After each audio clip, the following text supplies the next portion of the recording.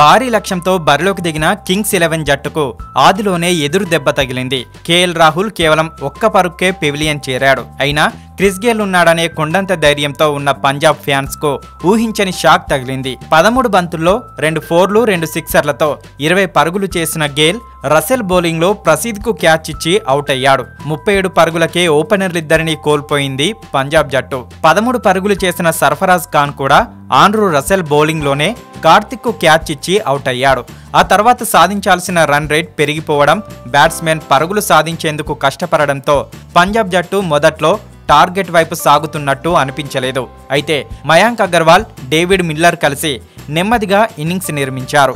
నాలుగో వికెట్కు ముప్పై మూడు బంతుల్లోనే హాఫ్ సెంచరీకి పైగా భాగస్వామ్యం నెలకొల్పి మ్యాచ్పై పట్టు కోల్పోకుండా కాపాడారు.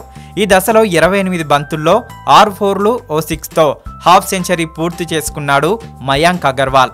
మయాంక్కు ఇది ఐపీఎల్ కెరీర్లో నాలుగు అర్ధ శతకం నాలుగు బంతుల్లో యాభై ఎనిమిది పరుగులు చేసిన మయాంక్ అగర్వాల్ పీయూష్ చావ్లా బౌలింగ్లో భారీ షాట్కు ప్రయత్నించి క్లీన్ బౌల్డ్ అయ్యాడు.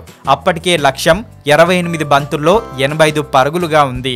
ఆ తర్వాత క్రీజ్లోకి వచ్చిన మందీప్ సింగ్తో కలిసి కాసేపు పోరాడాడు డేవిడ్ మిల్లర్. ఈ దశలో డేవిడ్ మిల్లర్ హాఫ్ సెంచరీ పూర్తి పూర్తి చేసుకున్నాడు. అయితే ఆఖరి ఓవర్లో విజయానికి నలభై రెండు పరుగులు కావాల్సిన సమయంలో పంజాబ్ జట్టు కేవలం పద్నాలుగు పరుగులు మాత్రమే చేయగలిగింది. ఫలితంగా కేకేఆర్ ఇరవై ఎనిమిది పరుగులతో విజయం సాధించింది.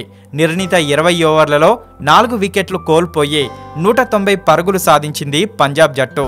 డేవిడ్ మిల్లర్ యాభై తొమ్మిది పరుగులతో మందీప్ ముప్పై మూడు పరుగులతో అజేయంగా నిలిచారు.